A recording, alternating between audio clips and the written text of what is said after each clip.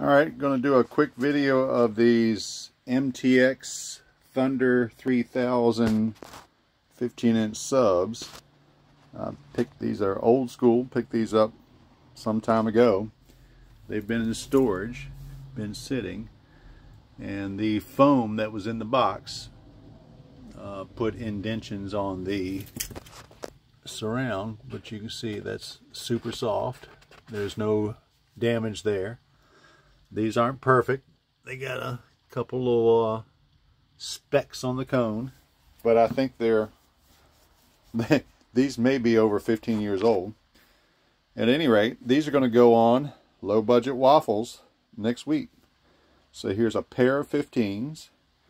We're going to run it into this NVX amp and give you a quick demo. Let's see here.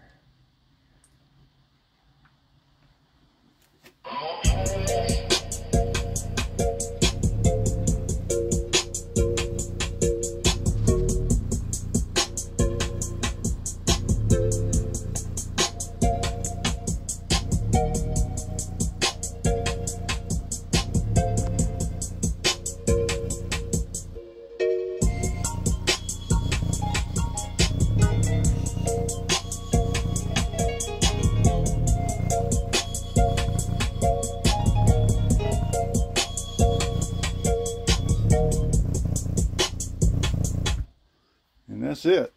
There's your Thunder 3000 15 inch subs. Have a good one.